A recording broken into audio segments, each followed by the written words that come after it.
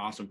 Hi, everybody. I'm Spencer. Uh, this is my third time now in the class, uh, picking stocks and pitching them to different groups of people. Uh, this time around, I am doing Beyond Meat. Um, I don't know if anybody's heard about it, but it's a plant based meat company. It's kind of taken the world by storm right now. Uh, I was going to pitch it last year, but I chose a different company over it. So it's time to see if we can invest in it this time around. So this is just a little overview of the presentation. Uh, we've got a lot to cover because it is a new and little, maybe a little less known company than say Chewy or some of the other companies that we're going to be investing in. So here we go. So Beyond Meat's one of the is the largest plant-based meat producer in the world right now.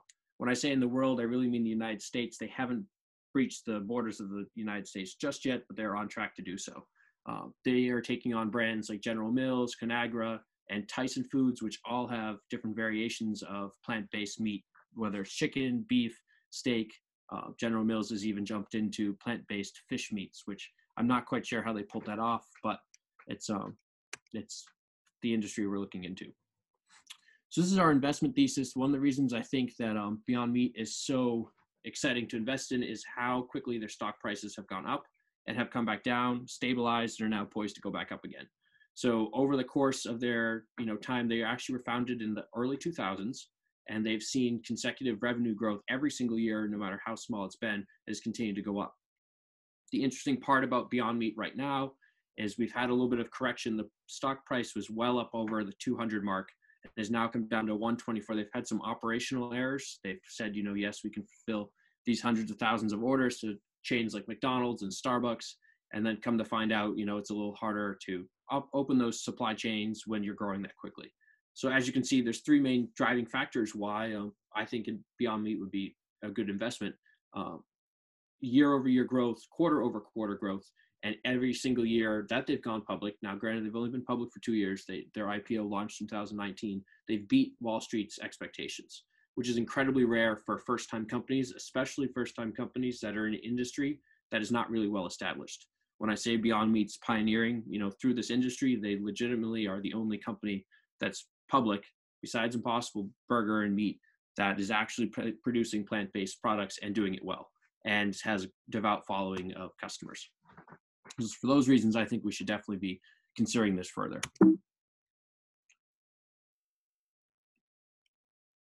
So I have to be honest and put out um, the risk to investment. Bowden would not like it if I did not, you know, share all the uh, risks of this company. It falls in the top category here. I would say right in between moderate and high risk, but I would put it more in the high risk area because it is so new and it is on the forefront of the industry. You know, they're going to make the most amount of mistakes because they're the first ones doing it. So a few of the, you know, more basic risks to this company has to do with foreign exchange and inflation. Now, Beyond Meat sources a lot of their like um, their seeds and vegetables and all the materials that's not meat based from outside the country. So their supply chains are coming from Asia, some parts of India they're getting them from. So that's an incredible risk in the fact that, especially with the global pandemic going on, anything that happens on that side of the world will absolutely affect their operations here, which moves them into the high risk category. No, how no matter how well their company is being run, you know China or India or any of those countries could shut down and you know jeopardize their supply chain greatly.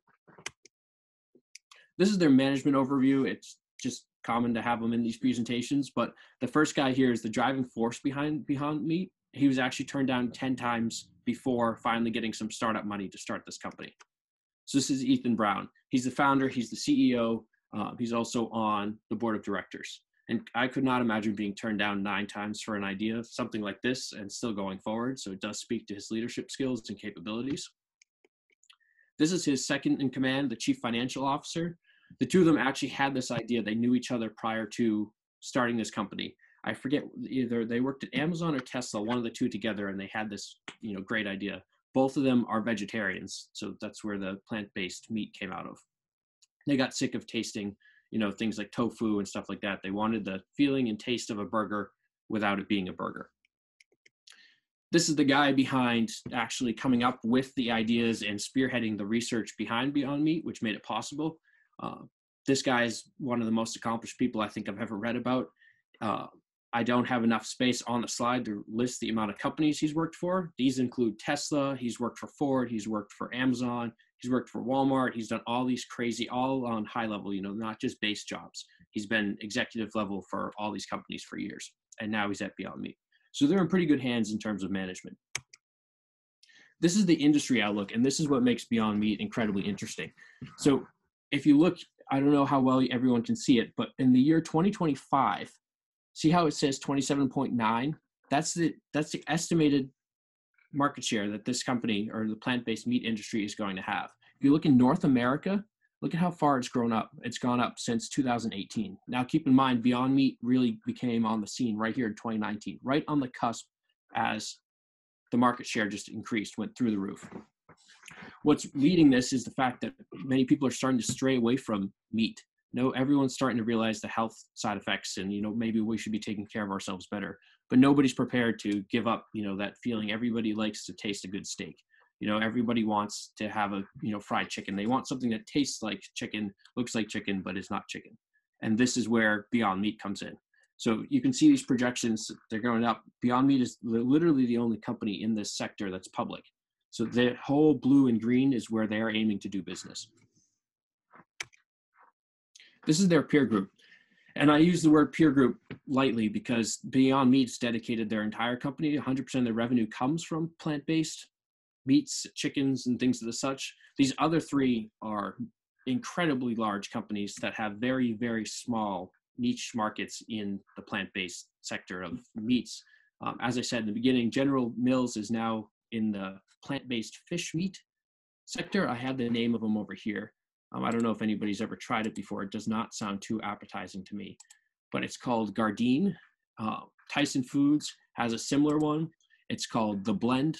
Uh, those two, actually, the General Mills and Tyson Foods came out with this plant-based meat in response to Beyond Meat's, uh, you know, more popularity. They tried to diversify a little bit, and they're doing an all right job. They don't quite have the following Beyond Meat does, but then again, these are you know multinational, huge corporations that have you know other resources and other revenue streams other than you know just plant-based products. Same with conagra. They have another section of their industry that's um, focusing on plant-based meats as well. They've yet to catch up to beyond meat. As you can see you know revenue is a little bit different and you compare revenues for you know tyson foods versus beyond meat but the next slide will explain why beyond meat's a little bit more attractive so if you break down just their meat segments in these companies, Beyond Meat blows them away. So therefore, I believe they're not quite in the same peer group, you know, section. You can compare them, but not not really. Uh, this also speaks to why Beyond Meat is so attractive. You know, Conagra, Tyson, and General Mills are huge, huge companies, and Beyond Meat's outpacing them by not just you know a couple million dollars, at least a hundred plus in every sector. This is their market share, which is also super interesting and why we should consider investing in a little bit more. So if you look in 2014, just before their IPO, they were in about a thousand stores. Every year that it's gone up, you see just after the IPO in 2019, it rockets right up to 80,000 and 112,000. That was right where people started taking Beyond Meat really seriously, and they were able to totally implement their supply chain and operational like standards. The CFO and as you saw, the CEO, they were totally able to perfect the supply chain so that when McDonald's or you know Walmart, Publix, Stop and Shop said, you know, we do need 50,000 more burgers, they were able to meet that demand. That led to an increase in their stock price, and their stock was pretty much on fire to just before COVID hit. This is another comparison just to put in perspective how well the company's doing. It's a relatively self-explanatory graph, but this is their um, change in price per unit. So as you can see, because Beyond Meat devotes most its entire company and idea to producing this product, it's going to outpace all these other companies 100% of the time. They just simply can't compete in the whole plant-based meat industry.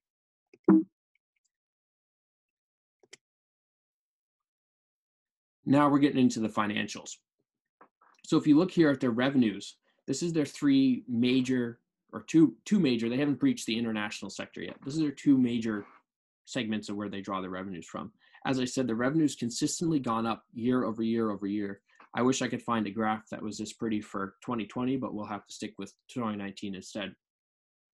Right around here where it says 37 and 104, we saw in the retail section, we saw an increase in the stock price by 115%. I don't have the exact number for where it jumped up. It went from 70 something, I believe, to right around like 180, and it plateaued over there. That's because two major food brands got behind them totally. You can find Beyond Meat in all Walmart stores. Amazon, obviously, everyone knows, bought Whole Foods. Shortly after that, plant-based meats became a staple of Whole Foods. Beyond Meat was the first, with the Impossible Burger, which is a private company, was the first plant-based company to be carried in all Whole Foods locations. They were riding pretty high off that stock. Then when you come here, this is also we're getting into a little bit more of a few financials. Did it disappear? Can you guys still see this? We can see it. Okay, I wasn't sure. It just like glitched out here for a second. So you can look at the valuation. This company's only two years old, and it's right around 8.6 or 10.1 billion dollars in its valuation overall. In comparison, here as you go down, you can see the incredible growth that it's experienced, and it's just it's all it blows my mind how interesting this company is and how quickly they're able to grow and sustain their growth. This is their revenue since they IPO'd it's good to visualize some of this stuff because I can sit here and say, you know, all day long, the stock's gone up, the stock's gone up, the stock's gone up. But as you can see, it, it truly has gone up with a few minor dips here, but it's really not dipped below 120, 130, you know, stock price whatsoever. And this is where I believe our investment fund comes in. You know, we could get on board at something that, you know, could be upwards of 180. As you can see, you know, midsummer, the price was over $200 a share. It's now trading a little bit lower, which gives us the opportunity to make some wise investment decisions and get on board with it.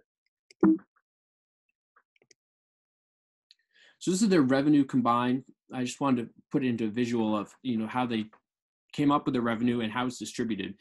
Oftentimes, you know, companies will say, yeah, you know, we do really well overall, but you don't get to break down and see truly where, you know, the money's coming in from. Beyond Meats drives takes the revenue 100% split right down the middle between restaurants and retail. Retail is the fastest growing segment for the company where restaurants kind of like lag behind a little bit. But overall you can see those are some pretty strong results all the way through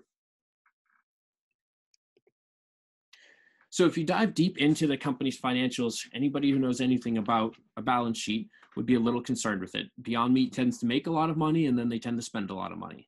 And in the past two years prior to their ipo they were spending a lot more than they were taking in. They were pouring money into research and development, operational supply chains, trying to expand their markets, and they actually they still had a negative and still do right now have a negative EPS as a result of that.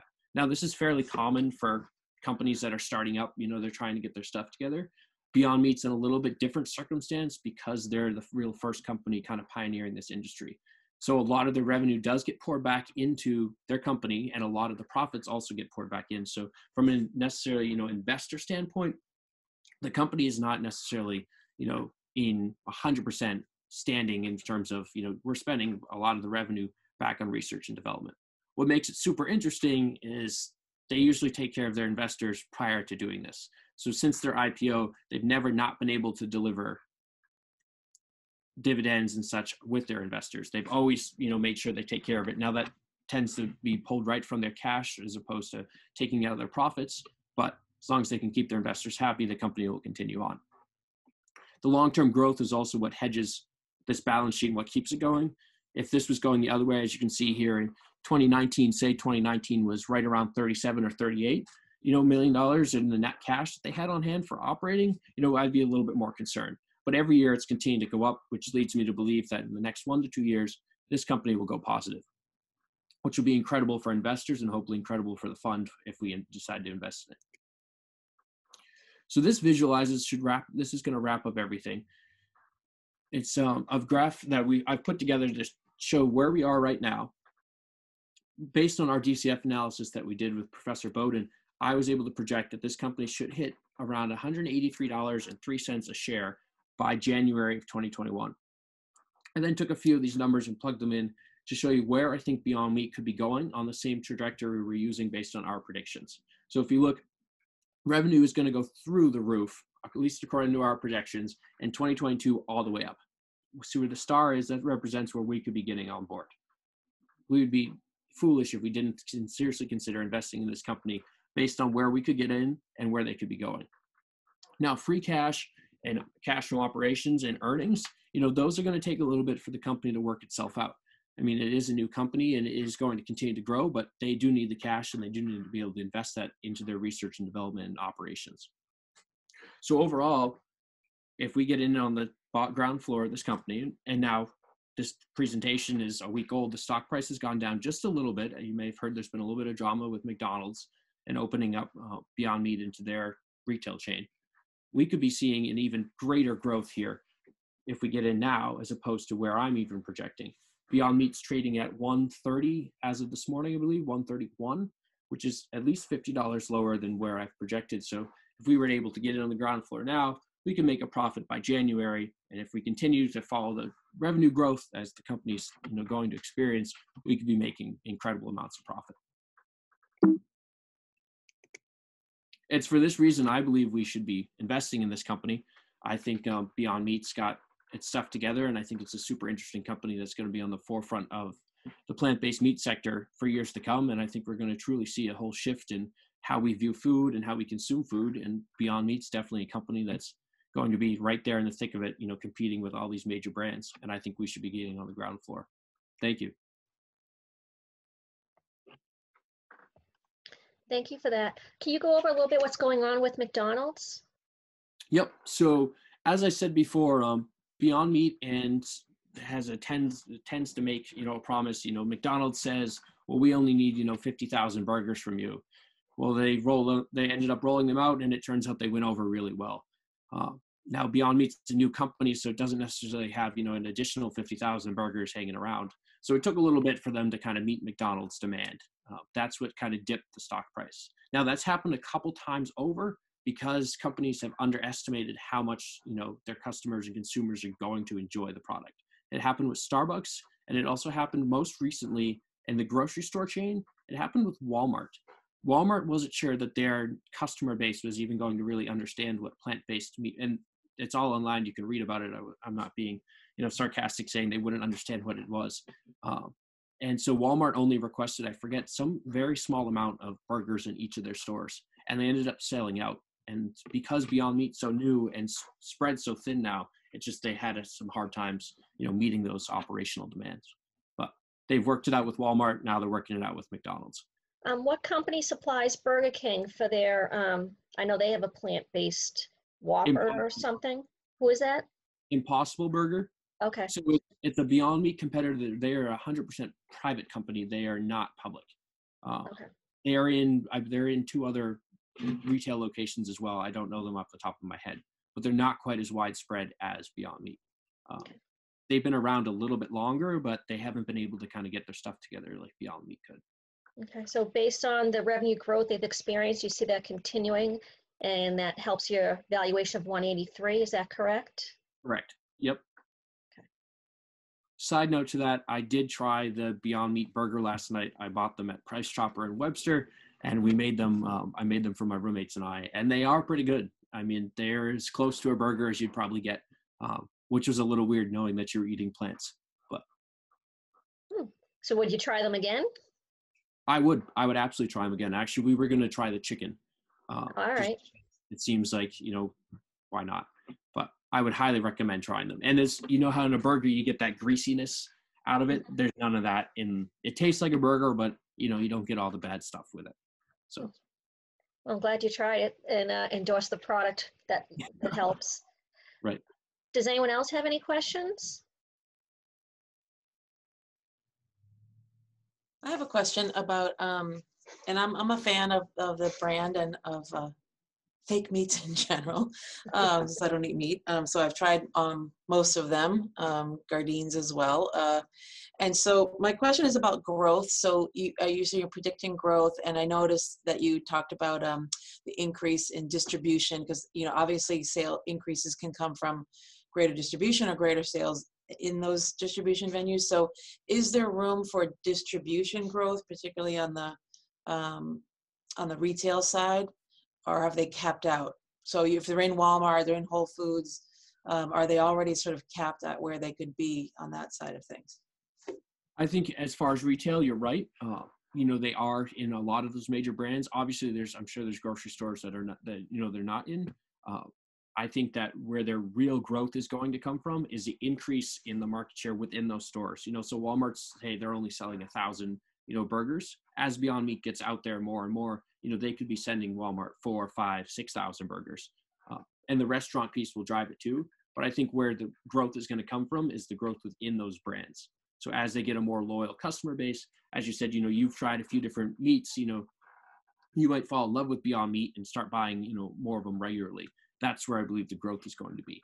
Because they were able to feed into those locations so early on, now they just have to build their reputation and brand with those brands, within those brands. Spencer, what sector does this company fall in? So I want to say it falls in the consumer discretionary sector because Okay. you know, but we don't really, you know, it's- it's not like we have a plant-based meat section. So yeah. I wasn't sure really where to put it. Uh, it's also a food. So, you know, is it considered a consumer staple? I don't know. Uh, Hmm. I think it definitely, in terms of like, you know, riskiness for the investment fund, I think that it falls in, you know, a little bit more diversified company. You know, it's not Microsoft or Facebook, you know, it's something that, you know, we could be, you know, one of the first people to invest in kind of thing. Okay. Any other questions? Do the uh, Beyond Meat burgers, do they tend to be cheaper or more expensive than the uh, regular burgers? I thought they were Just regular meats. super expensive. I for, I think we paid like three or four dollars for it was like a two pack. You know, I don't I don't remember it being too too expensive at all. Uh, but you know, we only did bought you know three burgers, so I'm sure if you were buying them in a little bit larger quantity, you know, it might cost a little bit more. But it is more expensive to produce a plant based burger than you know a meat patty. Is that something that's impacting their, uh, their losses at the point then as well? The They- production costs? Their their um, annual report, they didn't really, you know, say much about you know the cost. It was kind of you know implied that it is going to cost a lot more make a plant-based and you know they're going to have to make it up. So I didn't see that hindering you know their ability. To, usually, people who are going to buy you know something plant-based or more healthy are okay paying a little bit more for that. So All right, I do have a follow-up question about that because uh, I know that they're, I think they're more expensive than other, and you actually had a your slide 14. Is that, that's what you're talking about? They've increased their price per unit? Is that what you mean by that? Like the retail cost? Yep. So I wonder as, you know, with any industry, once it becomes more mainstream, as if there's growth in the, um, you know, vegetarian meat, uh, there's be more pressure on price to come down. So uh, do you think that's going to impact their profitability as you know as there are is more mm, um, competition and um, greater sales typically there becomes more pressure on pricing I wonder if it's I I thought about this and I was wondering if it would go the other way. You know, as those other companies kind of you know fine tune their meats products, I think they're going to find that is going to cost a lot more to make a better product. So I think you know, in terms of slide 14, in the next five to ten years, we'll see those numbers kind of balance out. Maybe Beyond Meat will come down a little bit, but I can't imagine they're going to want to adjust their price too much because of how much you know burger does cost to make. I see the other companies kind of raising it a little bit, you know, to meet that. You know, Beyond Meats, as I said, it looks just like a burger. You know, when you fry it, it sounds just like a burger. Uh, and I don't believe that that's the same with the other variations. You know, I'm pretty sure you can tell that it's really not chicken or really not meat. Uh, and so that leads to probably the cheaper price. So I see those stabilizing a little bit, at least in, in my opinion, I think. Spencer, in your research, was there any indication that Beyond Meat's um, long-term or ultimate goal is to be bought out by one of these larger companies? Or do they seem to want to stay um, independent? based based on everything you know that I've read, I don't foresee that they haven't indicated that that's their goal. Uh, right now, their total you know drive is to be worldwide with this whole thing. They're trying to expand you know without with you know outside the United States. Uh, I have not seen any indications that they're hoping to be bought out. That being said, that does not mean Tyson or some of those other major foods are going to try to you know to buy them out. So Okay. All right, well, thank you.